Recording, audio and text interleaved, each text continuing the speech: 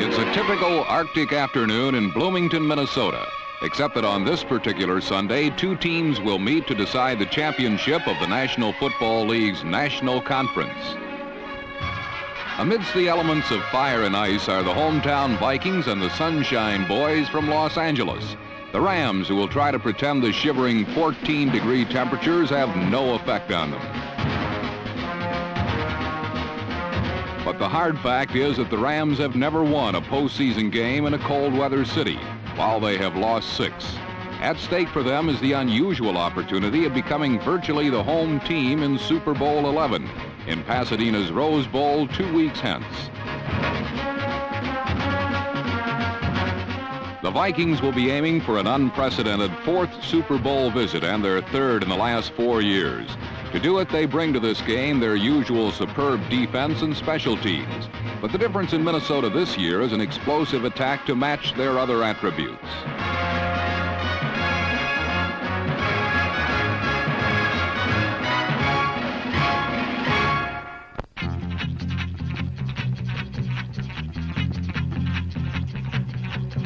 On the game's first series of downs, Minnesota's famed but aging Purple Gang showed their stuff by swiftly clamping down on the Rams' running attack and forcing a pass on third and long. Rookie quarterback Pat Haden tried to duck the purple pressure, but was wrestled to the ground by number 81, 13-year veteran defensive end Carl Eller for the first big defensive play in a game that promised to have many. But on their next offensive series, the Los Angeles ground game began to click. Led by John Cappelletti and Lawrence McCutcheon, the Rams sustained a time-consuming 13-play drive that brought them to the Minnesota one. The big play was a reverse to Ron Jessie on which everyone wearing Rams horns insisted the speedy receiver had scored.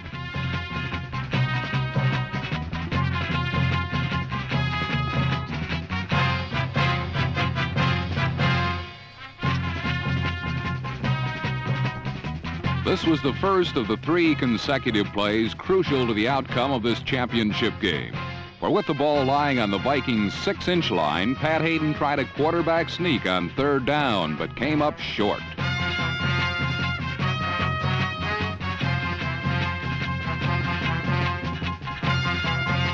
Again, Los Angeles thought they had scored, but the fans in the stands signaled the true outcome of the play.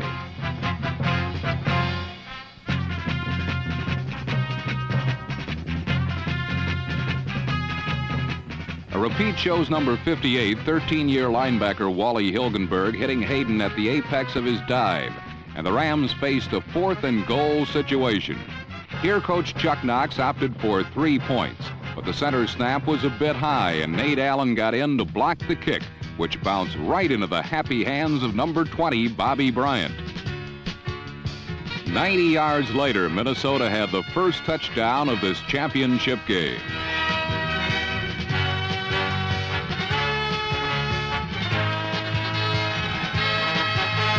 This was the 14th block kick for the Vikings this season, and Nate Allen has been the man most of the times. It takes guts to stick your face in front of a kick, the little cornerback said after the game. It takes 10 men to hold a crazy man down, and I'm the crazy man. I got a good start, and the holder was slow putting the ball down. I blocked it with my chest. It bounced right, and Bobby just picked it up in stride.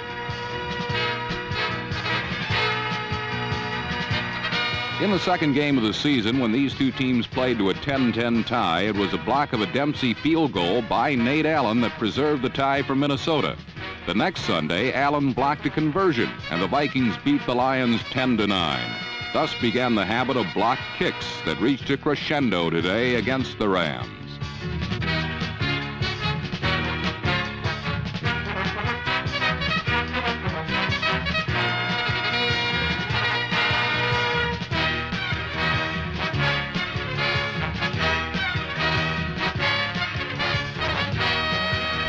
Rams were down by seven points, and the decision by their coach to go for three points instead of six had proved disastrous. But Los Angeles wasn't giving up.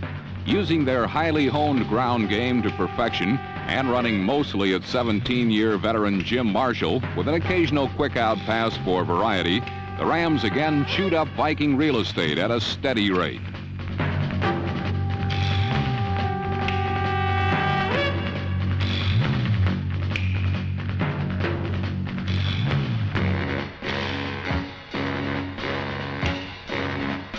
But again, just when they were closing in on a score, Los Angeles coughed up the ball.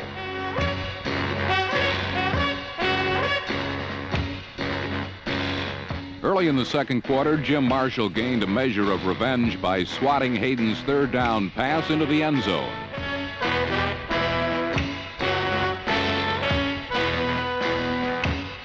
Forced punt, Rusty Jackson dropped the ball, and Matt Blair came storming through to give the Vikings their second blocked kick of the game. We weren't supposed to block it, Blair said later. We were playing for a return, but I had the feeling I should go in. Luckily, Jackson dropped the ball, and that gave me the extra time.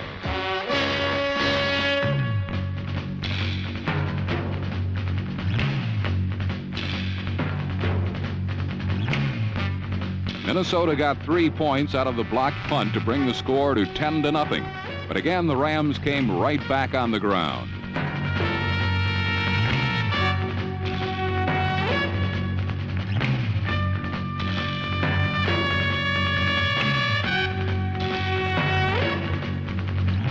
But when Haden went to the air, the results were different. Bobby Bryant made a diving interception to give his team the ball near midfield. And with this impetus, Minnesota put on their first offensive display of the game.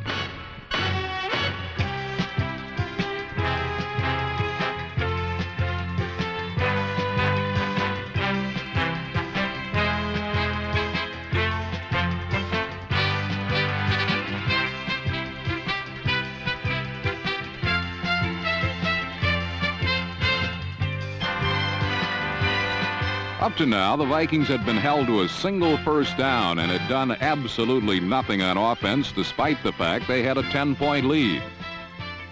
In fact, when the first half was over, Minnesota would show merely five first downs and the miserly total of 89 net yards for an entire half of football. The Vikings' best and only drive of the half ended when number 85 Jack Youngblood sacked Tarkenton to give the Rams a small measure of satisfaction this half.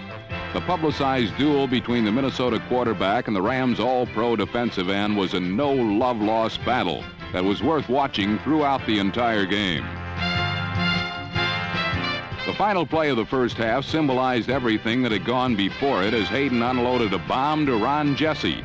The Comet from Kansas made a great catch in front of Nate Wright that resulted in a 43-yard play. But it was all for naught. Time had run out for Los Angeles in a half that saw them outplay the Vikings in every conceivable aspect except for block kicks on the scoreboard. The Rams went into the locker room trailing the Vikings. Tarkenton had been only mildly effective. Chuck Foreman had been heard from not at all. The Ram defense had done everything it could have dreamed of doing, but Minnesota had the Rams by 10 points at halftime.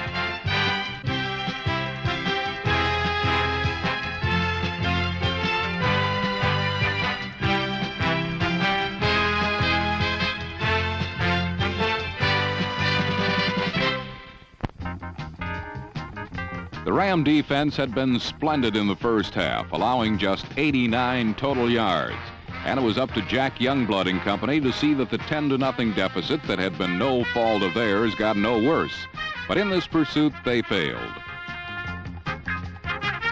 On the second play of the third quarter, Chuck Foreman broke off a 62-yard run, exactly double the yardage that he had amassed in the entire game when the two teams met earlier in the year. Foreman was tackled on the one, but two plays later he went in standing up, and the Vikings lead ballooned to 17 to nothing just two minutes into the second half. At this point in the game, the Vikings looked like they might make a runaway of it as the purple defense held the Rams without a first down on their first series of the half and handed the ball over to Fran Tarkenton on the Ram 45-yard line.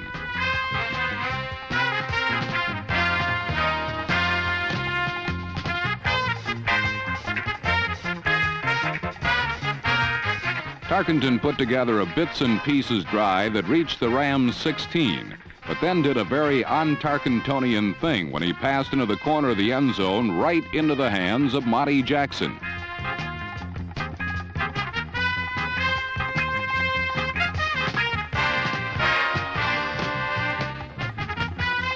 For Tarkenton, the careless interception was highly uncharacteristic, as was his entire day, passing for less than 100 yards until late in the fourth quarter.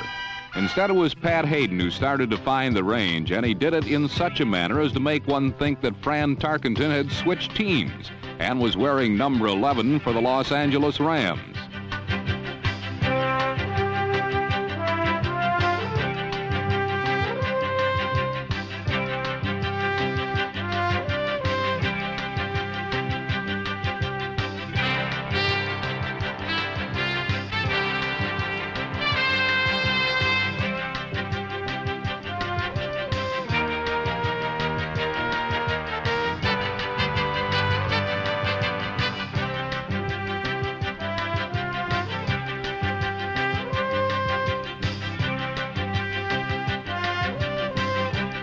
This time, the Rams, number 30 Lawrence McCutcheon in particular, were not to be denied.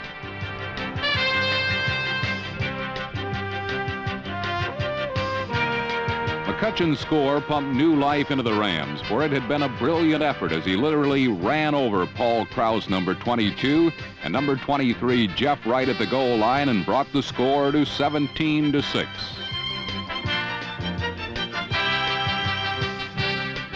But Tom Dempsey missed the extra point, a point that would loom very large as the remainder of the game unfolded.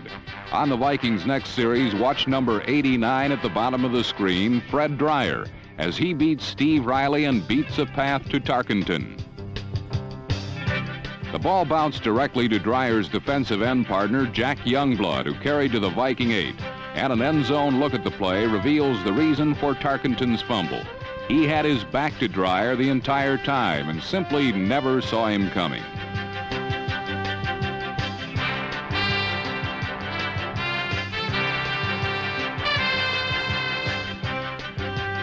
The Rams had a big break, and Haden capitalized, hitting Harold Jackson from the five-yard line with a touchdown that brought the Rams to within four points.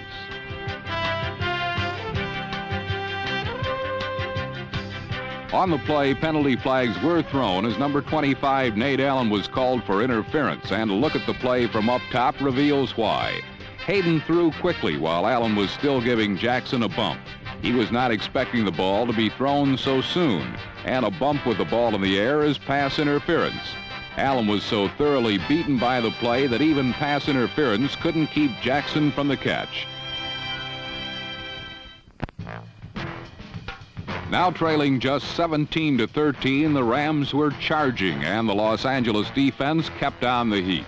Aside from Foreman's foray, the Vikings would total just 50 yards in the remainder of the third period and for 12 and a half minutes of the fourth.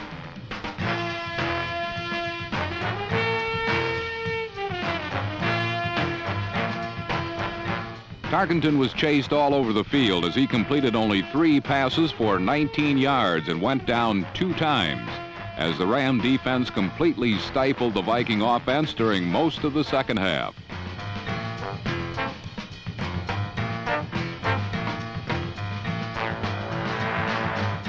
The game would come down to three Los Angeles possessions from good field position. But lost in the great play of the Ram defense was the fact that there was another defense out on the field.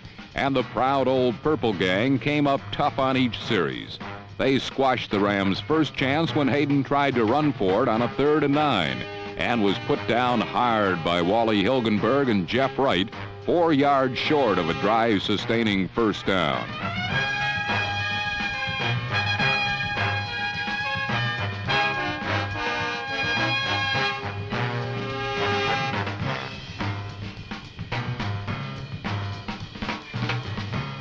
First Ram drive ended inside the Viking 35, but due to the missed extra point, a field goal did Los Angeles no good, and they were forced to punt rather than go for the tying score. After holding Minnesota first downless once more, Haden began the second Ram thrust with a pass to Ron Jessie.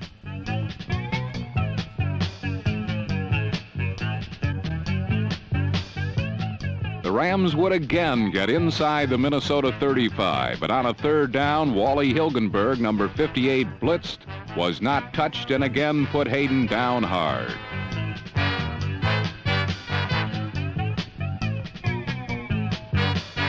A look at Hilgenberg's hit from the end zone reveals that because he was not blocked, Hilgenberg had a full head of steam when he crashed into Haden's blind side.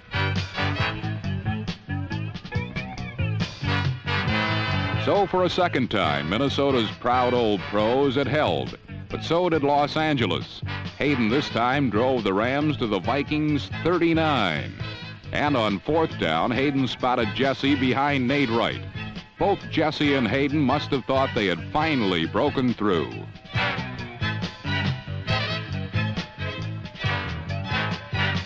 But from out of nowhere came Bobby Bryant. The interception was the type that free safety Paul Krause usually makes from his center field position. This time, however, Bryant, a cornerback, had left his man and saved the Vikings. Looking at the play from Pat Haden's point of view reveals how disappointed and surprised he must have been for Jessie surely does look open and touchdown bound.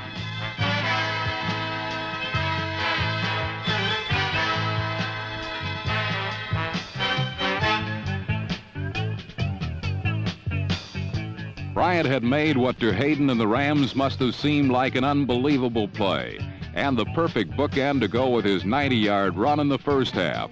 Bobby Bryant had started the Vikings off on the road to victory and now had seemingly preserved that win if the Vikings' sputtering offense could chew up the remaining two and one half minutes.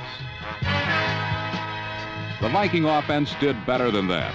On a third and four from their own 30, Tarkenton spotted Chuck Foreman, the fourth receiver he looked for over the middle, and Foreman did the rest.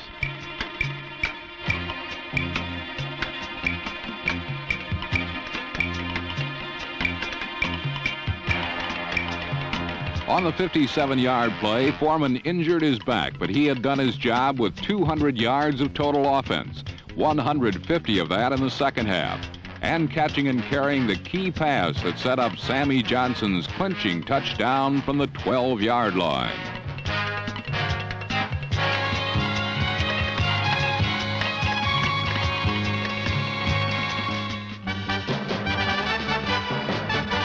Johnson's touchdown brought the score to an insurmountable 24 to 13 with half a minute to go. And he and Tarkenton and the rest of the Vikings hopped merrily off to their fourth try at a Super Bowl victory.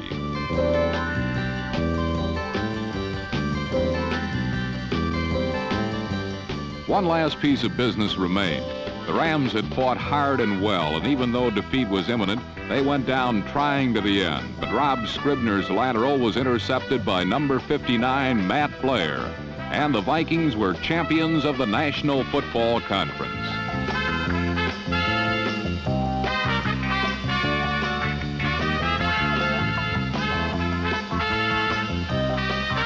For the Rams, it was one more frustrating defeat at the hands of the Vikings their 11th loss in 12 tries in Minnesota.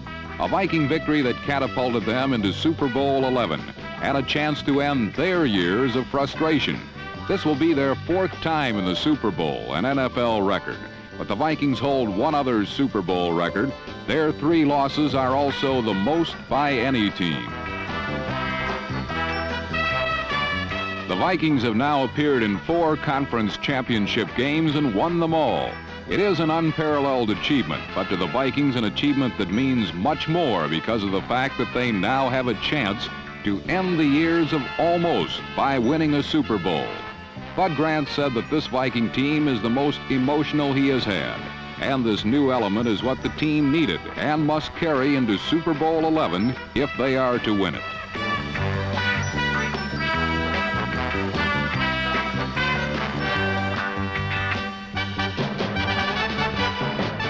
Rams, the NFC Championship game is getting to be a real downer. Their 24 13 loss to the Vikings marked the third straight season that the Los Angeles Rams have come within one game of reaching the Super Bowl.